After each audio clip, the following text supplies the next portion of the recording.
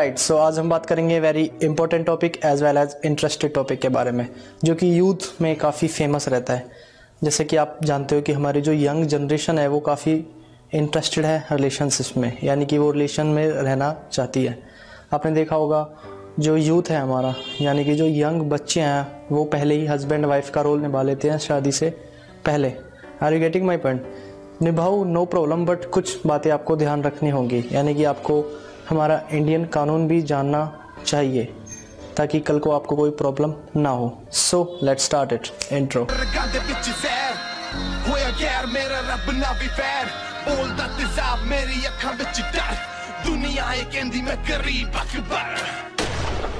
तो जैसा कि आपने थंबनेल में पढ़ लिया था कि शादी का वादा करके सेक्स करना भारी पड़ सकता है।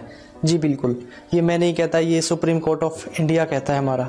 तो वो क्या कहता है? वो ये कहता है कि अगर आप किसी को शादी का ऑफ़र देके उसकी मर्ज़ी लेते हो सेक्सुअल इंटरकोर्स करने के लिए, सरल शब्दों में कहें तो आप उसको शादी का झांसा देकर सेक्स करते हो तो वो रेप की कैटेगरी में आता है।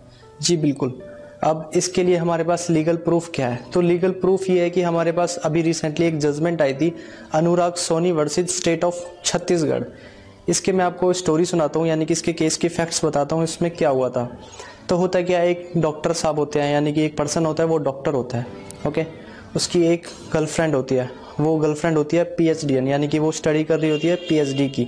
अब मैं यहाँ पे नाम लेना चाहूँगा, नहीं, क्योंकि विक्टिम का क्या होता है, नाम लेना अलाउड नहीं होता, और वगैरह वगैरह। ओके, आप बस मेन स्टोरी समझो और सीख लीजिए बस। तो क्या होता है, उनके बीच में काफ़ी अफेयर चलता है, यानी कि उनके बीच में अफेयर चलता है। तो जो डॉक्टर साहब होते हैं, जो हमारे मेल पर्सन होते हैं, वो क्या करते हैं, उस लड़की को अपने पास बुलाते हैं। तो वो उनके पास जाती है ट्रेन से सफ़र करके उनके पास जाती है। तो वो उसको बाइक से ड्रॉप लेने आते हैं पिकअप करने आते हैं और वो एक रूम में रुकते हैं। तो डॉक्टर साहब क्या करते हैं कि उन पे फ़िज़िकल रिलेशन बनाने का दबाव बनाते हैं। जो लड़की होती है, वो मना करती है। वो बोलती है कि ये सब हम शादी के बाद करेंगे। तो लड़का कहता है कि भाई, हमने शादी तो करनी ही है। यानी कि हमने शादी तो करनी है। तो लड़की मान जाती है कि भाई, शादी करनी है तो यानी कि वो कंसेंट ले लेते हैं और वो सेक्सुअल इंटरकोर्स करते हैं फ़िज़िकल रिलेशन बनाते हैं। अब क्या होता है, लड़की अगले दिन वापस चली जाती है अपने, जहाँ भी वो रहती है हॉस्टल में चली जाती है। तो क्या होता है, कुछ टाइम निकल जाता है। तो लड़की, लड़के को बोलती है कि, चलो मैरिज कर लेते हैं। इस पर लड़का ना आना गानी करता रहता है और ब्ला ब्ला ब्ला तो लड़की क्या करती है, अपने फैमिली वालों को सारी सच्चाई बता देती है कि भाई, हमने ऐसा सब कुछ कर लिया है। ओके? और फिर बाद में पता चलता है कि जो लड़का है, वो मानने को तैयार ही नहीं है। तो लड़की के घर वाले और लड़की क्या करते हैं, उसके खिलाफ रेप का केस फ़ाइल कर देते हैं। तो बात सेशन कोर्ट में चलती है। सेशन कोर्ट से हाई कोर्ट में आती है। हाई कोर्ट से फिर अपील डल के वो सुप्रीम कोर्ट में आती है। तो सुप्रीम कोर्ट साफ़ कहता है कि अगर आपने वादा किया है, यानी कि अगर आपने वादा करके सेक्सुअल इंटरकोर्स किया है और फिर आप शादी नहीं करते तो it is a offence of rape यानी कि आपने एक रेप ही किया है। तो ये तो हो गई बात सुप्रीम कोर्ट की, यानी कि सुप्रीम कोर्ट ने अपना डिसीज़न दिया।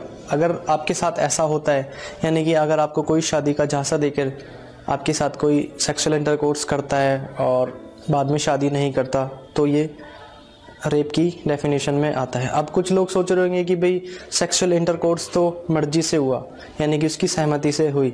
अब आप ये भी तो देखो, आपने सहमति ली शादी का झांसा देकर, यानी कि शादी का झांसा देकर आपने उसको लालच दिया, तभी उसने आपके साथ सेक्सुअल इंटरकोर्स किया। ओके सो इस वीडियो का मॉरल ये है कि अगर आप ऐसा करते हो तो कृपया ऐसा ना करें, किसी को शादी का झांसा दे के उसके साथ सेक्सुअल इंटरकोर्स ना करें। अगर आपने शादी करनी है, तब अलग बात है, लेकिन अगर आप किसी का ऐसे ही फ़ायदा उठाते हो तो आप बिल्कुल ना करें। ये तो हो गई मेल के लिए।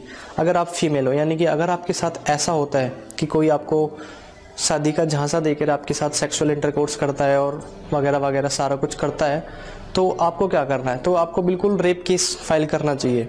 अब कुछ लोग सोचते हैं कि भाई रेप केस फ़ाइल करने से क्या हमारी इज़्ज़त वापस आ जाएगी? तो देखो भाई, इज़्ज़त वापस आए या ना आए, लेकिन उस जिसने गलत किया है, उसको तो सज़ा मिलेगी ना। आर गेटिंग उसको तो अपनी किए का फल मिलना चाहिए। उसको तो अपना, उसको तो पनिशमेंट होनी चाहिए। अगर उसने गलत किया है, उसने रेप किया है तो उसको तो पनिशमेंट होनी चाहिए। सो बिल्कुल बेहिजक आप रेप केस लिखाइए, उसकी कंप्लेन कीजिए। अगर आपके साथ ऐसा हुआ है तो। अगर आप मेल हैं, अगर आप बॉय हो तो आप कभी भी ऐसा ना करें किसी की आप ज़िंदगी तबाह ना करें। क्योंकि तबाह आपकी लाइफ भी होती है। कल को अगर रेप केस होता है तो आपको भी सात साल से लेके लाइफ इम्प्रिजनमेंट तक जेल हो सकती है। Okay so I hope it is